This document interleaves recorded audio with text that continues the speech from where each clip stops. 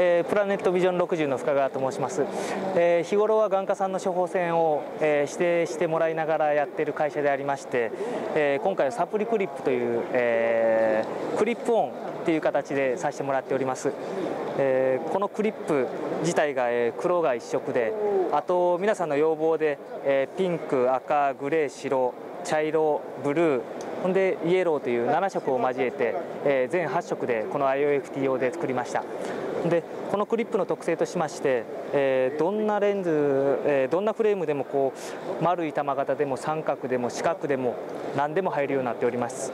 それから、えー、玉型のサイズの方も 38mm から、えー、65mm、68mm なんぼでも入るようになっておりまして簡単にこ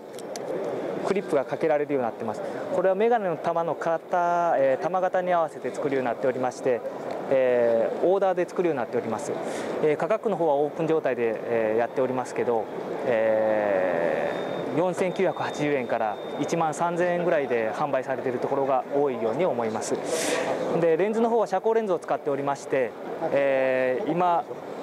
流行っているそのパソコン用それから、えー、液晶テレビなどの、えー、ブルーカットをするレンズになっておりますあと眼疾患の方で申し上げますと白内障とか緑内障それから加齢黄斑変性そしてもう一つ糖尿病網膜症というのがあるんですがこういった青色光が入ってしまうとちょっと具合の悪いという、えー、眼疾患用の、えー、眼疾患防止用のレンズを、えー、販売させてもらっておりますということでこういった特許商品、えー、いろいろご用意させてもらっておりますのでよろしくお願いいたします。